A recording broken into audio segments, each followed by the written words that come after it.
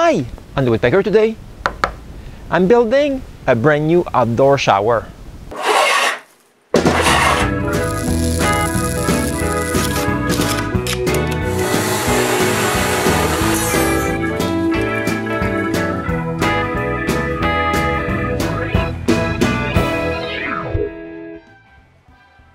Three years ago, I took you along for a visit to my cottage. Ah, time goes by so quickly. It's incredible. Back then, my outdoor shower was in good shape. I can even say that it was not that bad. But today, it's another story. The structure is all crooked and it's leaning backward. Last year, the door fell to the ground. Here we can clearly see that the base is all rotten and it's not holding anything. It's time to make a new one. The first thing I do is to go to my mother's house and get some metal angles for the base. And while I was there, I couldn't resist bringing an apple tree home. I cut the iron angle at the length of my base. Drill some holes so I'll be able to screw the shower to it. Clean the metal.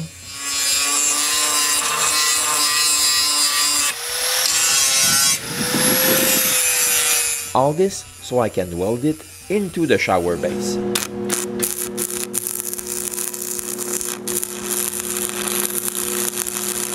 I'm not really good at welding, but I don't need to be for the purpose of this base. It just has to stay in place.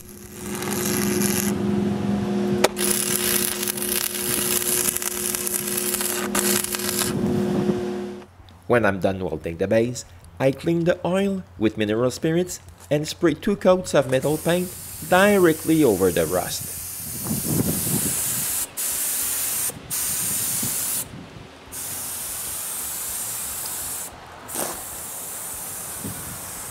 Then I'm able to pile all the wood I need and the base on my pickup and up we go on our June vacation. But before we can bring all this to the cottage, we need to transfer everything to my little boat. Then, at the cottage, we have to move everything again. After a little rest, we can dismantle the shower.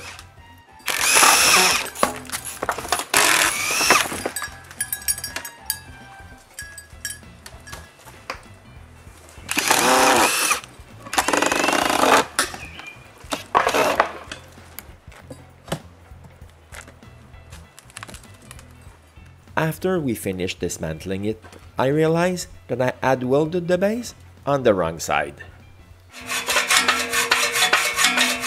So I get the hacksaw and cut one angle.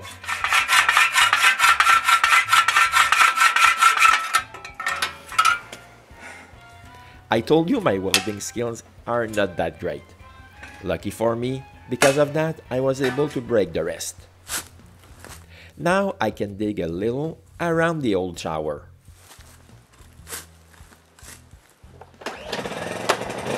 And make the form.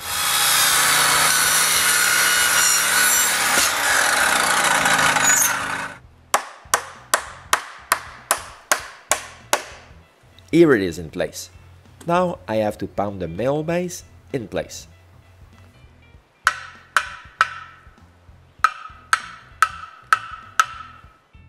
When I'm done, I can make some concrete and fill the new shower base.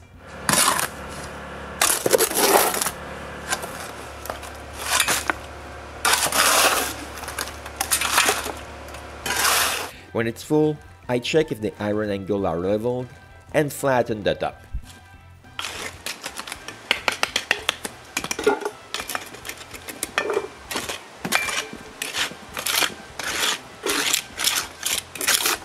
A couple of days later, I remove the form and backfill around the base. Now, we just have to wait until our next vacation to finish the job. Believe it or not, for my July vacation, we had one viewer who came directly from France. And since Philippe renovates the factory he bought just beside Toulouse all by himself, I knew I had a golden opportunity to use and abuse him to get some help to finish my shower.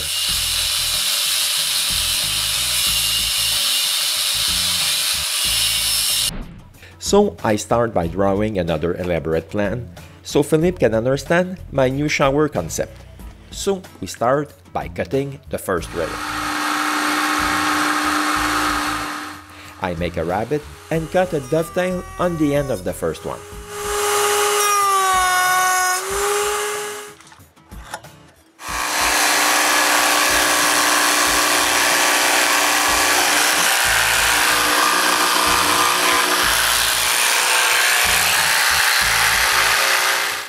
Then I trace an offset of 5 16 around the dovetail on a scrap piece of plywood. Since I'm using a 3 8 router bit and a 1 inch collet, I end up with a 5 16 offset. When the dovetail shape is cut, I can screw a cleat at the back and use it to cut the mortises.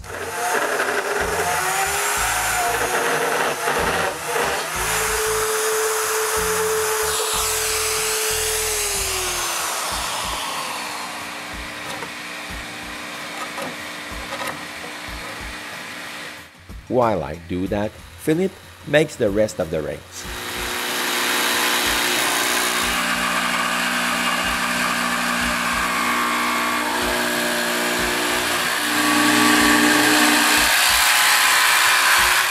Next, he removes the hinge on the back of each dovetail.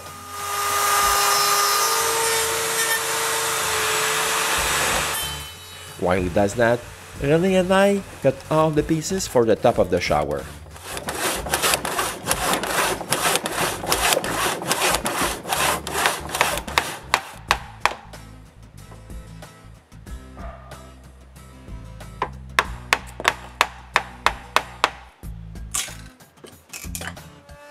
The A-flat is finished with the router.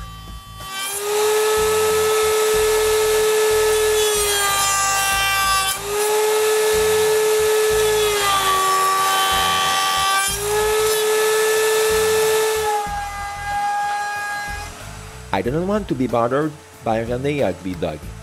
So we asked Ambre, Philippe's daughter, to keep the mutt out of our hair. The next day, we fine-tuned the mortises I made.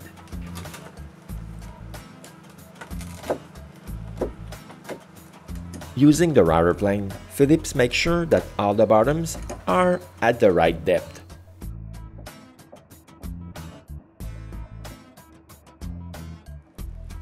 Finally, we're ready to glue the shower.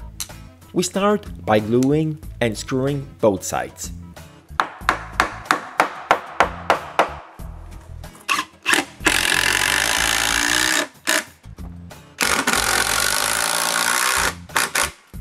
Because of the back of the tenons, we need to remove a small part from the back rings.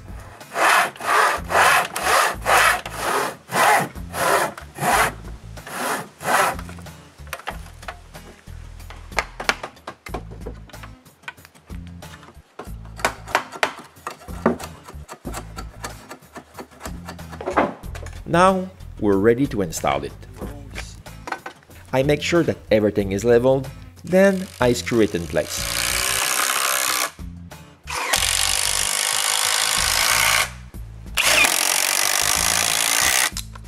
Then it's time to glue and screw the back rings.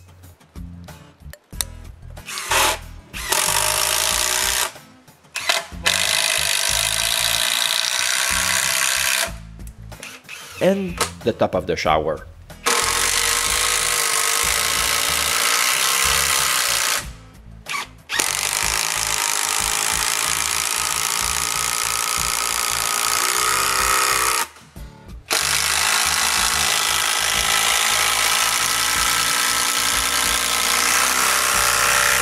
Finally, all the structure is in place. Not bad, but it's not over yet we need to transform this pile of wood into the shower's walls. While René and Philippe route a roundover on top of the planks, I cut them to the right length.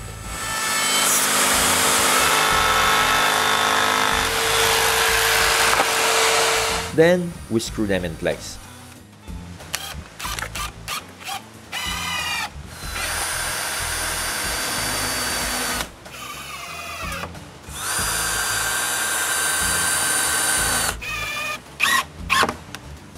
Wow, this took less time than I was expected. But I need to cut some planks. Make them narrower. Plane them straight and round their edges.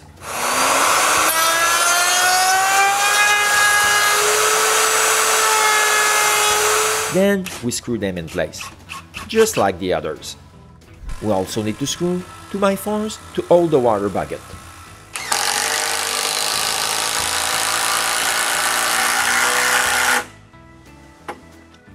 And put it in place.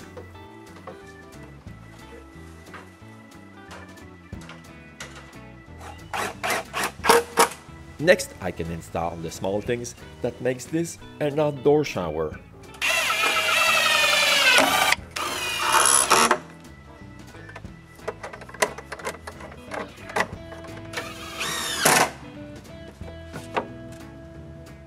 Then we can build the door.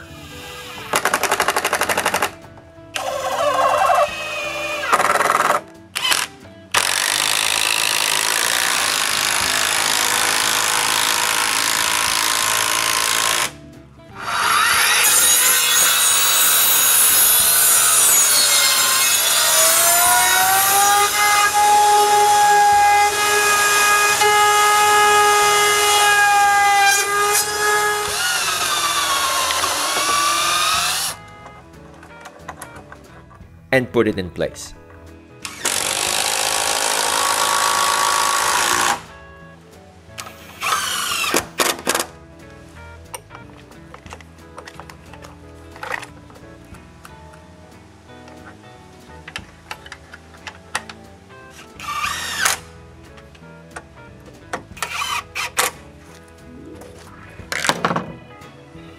I'm unable to put the finish on the shower because it rained too much after its installation.